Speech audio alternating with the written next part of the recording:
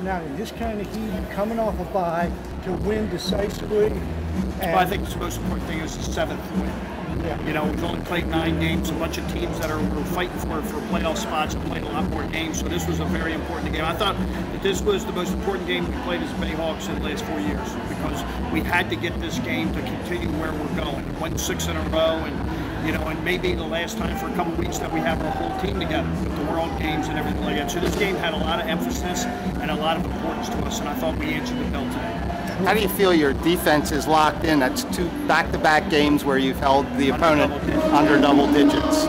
I think our goalie's been really good, you know, and I think we tonight we won faceoffs went early, really early. I thought Steven did a good job, and uh, you know we give up a, a man-up goal, which that was my fault as a coach. But I, I, I think overall our shorties were playing good defense, and, uh, and it's a good win for us.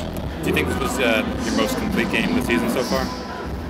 I don't know. Um, I, I, we, we, we played winning lacrosse today. I don't think we played great, but I thought we played winning lacrosse. We shared the ball on offense. We probably had a few too many turnovers to be outstanding, and I thought early defensively we were running around with our heads cut off. So I thought for being off a layoff, we played solid enough to win, and, and we did. You talked about uh, after last game slippage on some areas. You think they tightened back up in some of those areas? I think they did.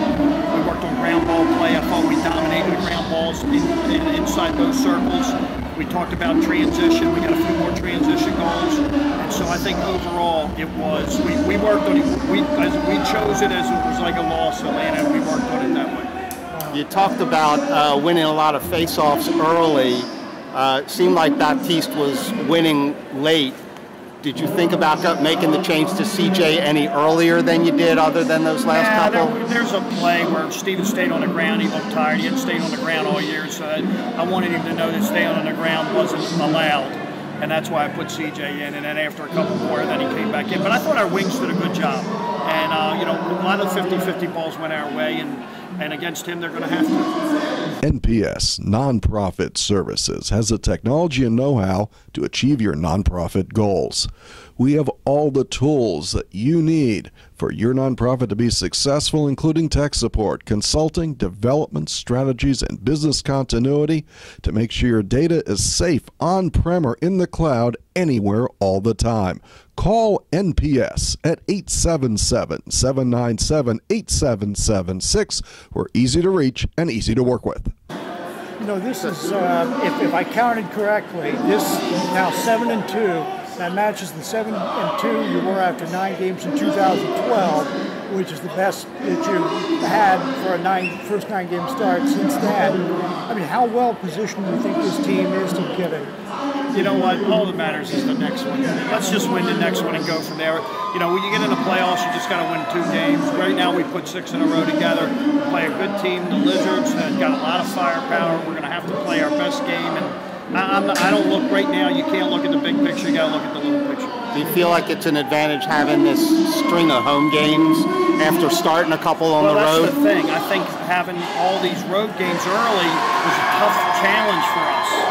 But we got through it, and now we should be able to benefit from having home games. I think we're what three or four and one now at home, three and one. I think, yeah, three and one, and we're four and one on the road. So, you know, if we can put together, we said all along when we got to this spot, if we could put to, take care of our home field, we're going to put ourselves in good position. Sure. How important do you think it's going to be against the Lizards That um, you know, um, well, it's a quick turnaround. Will that factor in? Will, the, will the rivalry factor in? That- well, it's, they're going to play hard. They need that game to win. We need that game to get to playoffs. So it's going to be, a, I think it's going to be an intense, tough game. Did you did the heat affect the way you were running your rotations at all? Well, we went to six offensive middies and only two shorties because they play two-way guys and it's hard to get the shorties in. So we only played Manis and IDA this week, but we played six middies so we could run two units at a time. And I thought the midfield of Maloney, Abbott, and Ian McKay really